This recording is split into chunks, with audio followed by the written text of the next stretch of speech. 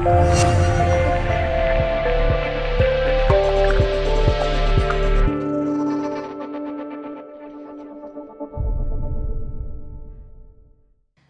back to Calendar Corner. My name is Erica. And my name is Amanda. And this month we're going to be talking about the month of May.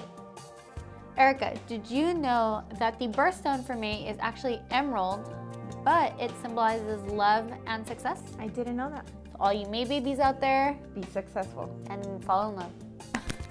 Okay guys, so we have three holidays that I want to cover with you guys this month. We have Cinco de Mayo, which is May 5th.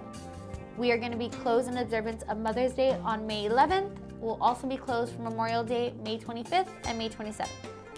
So now that we have those important dates out of the way, Erica, what's on our education calendar? So, did you know that there was a really costly lawsuit in the MLS due to copyright of pictures? I did not. Okay, so you don't want to miss this class. May 7th here at the association from 11:30 to 1:30, we're going to have instructors from CRMLS give you the 411 on all things photography. Nice. We also have another class on ADUs, which is accessory dwelling unit.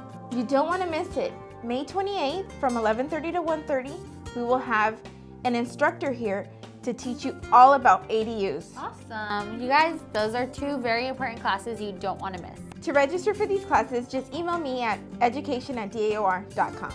All right, guys, so make sure you guys sign up with Erica for those classes. But before we sign off, I just want to let you guys know that we are having our 13th annual Bull and Goal fundraiser tournament on May 9th at 10 a.m. And we've been working on a nice little project here at the board for you guys. So many of you guys do your Instagram stories when you're out um, open houses or you're out showing, things like that. We have made stickers for you guys to use branded to the association, but not all of them are branded. So if you guys ever need help, give us a call, but you're just gonna hashtag DAOR when you're going in to look for those stickers. That's it for Calendar Corner. See you next time. Bye.